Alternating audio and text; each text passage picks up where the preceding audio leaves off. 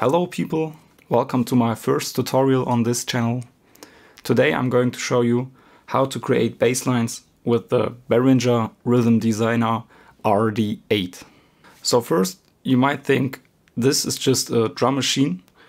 How is it possible to perform basslines with it?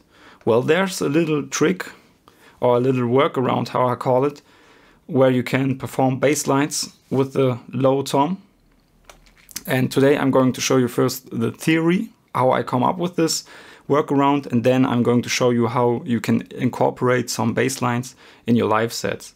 So I did a few live sets some months ago.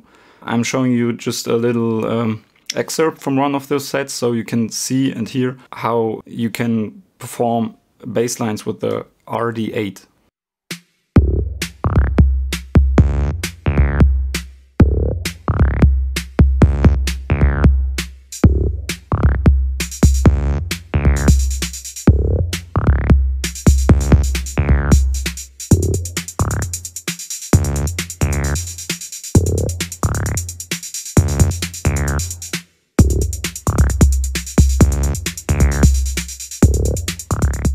So basically, you can create bass lines with note repeats on the low tom.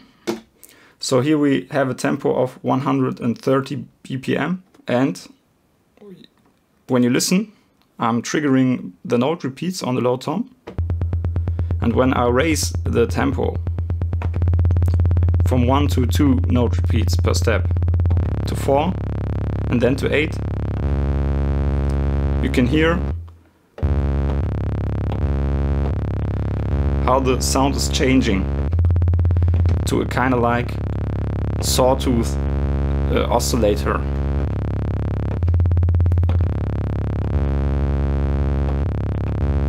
And when you listen closely, you can hear when I'm changing from the 4 to the 8 note repeat that the note is changing.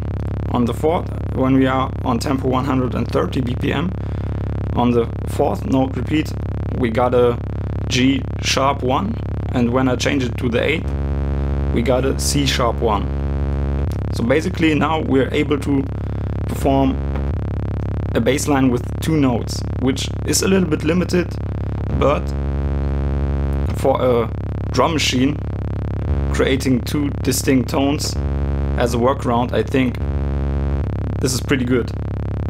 When we are raising the tempo a little bit to 130 BPM, you got two different notes, which is on 4 it's the A1 and on the 8th it's the D2.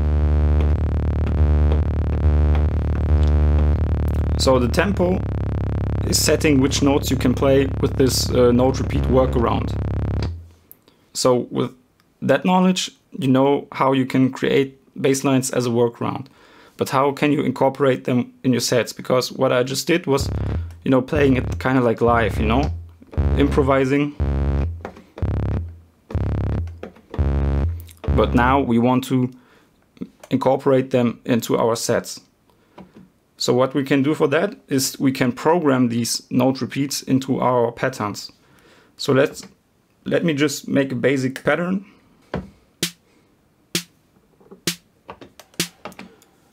Guess I got it muted. Yeah. No, so basic pattern 130 BPM. And let's just come up with something short.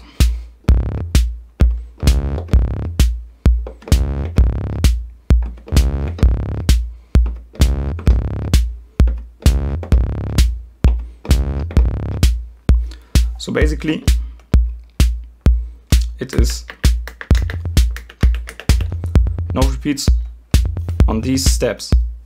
So right now it's just the simple note triggering because we are not programming those note repeats. But what we can do to program them is go to settings and press RPT for repeat.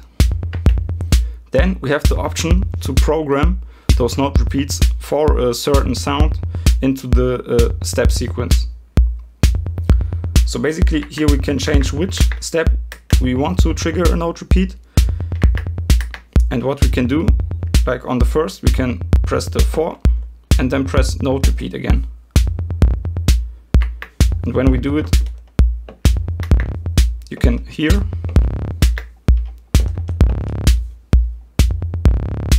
that it's changing.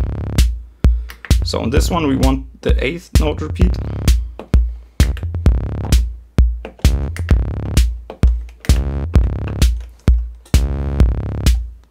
So we can hear we have the bassline sound incorporated into our step sequence without needing to play it live. And this repeat is just happening on the low tom because we selected the low tom. So we can exit the settings and are back again.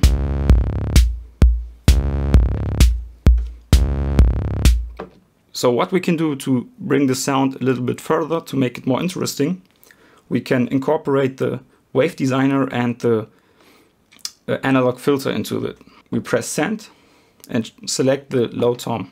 So now the low tom is assigned through the wave designer and the analog filter.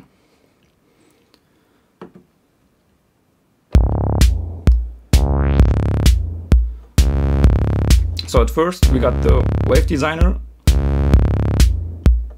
assigning the attack time and the sustain time. So you can hear when I adjust the sustain to full, the sound, the lower bass sound is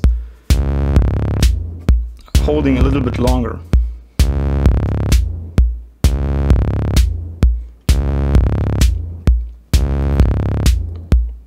For the filter we can choose the low pass filter. And as you hear, we can shape the bassline a little bit more to our needs. You can also add a little bit resonance.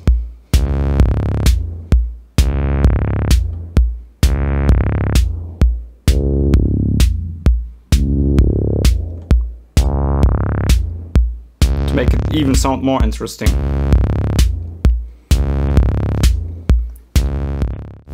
To make our sets more interesting, we can also record the filter changes.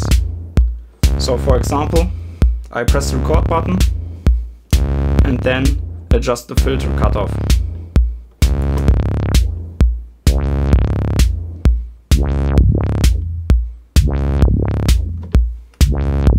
And you hear it just recorded the cutoff modulation.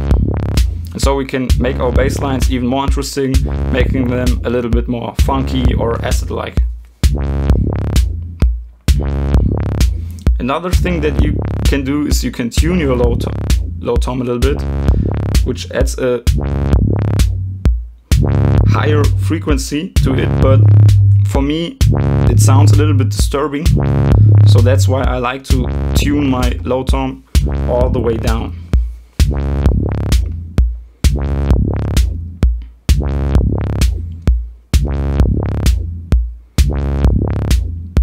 So that's basically it. To create basslines with the RD8, you need uh, to think a little bit outside of the box, a little bit more creatively, but I think it really sounds interesting and can make your sets sound more interesting and even just using the RD8 you can clearly make just a full house or techno beat on the spot. So I hope you enjoyed the tutorial. Let me know in the comments what you think about it, if I can improve something for the next videos, and we'll see you in two weeks. Make sure to subscribe. Peace and out.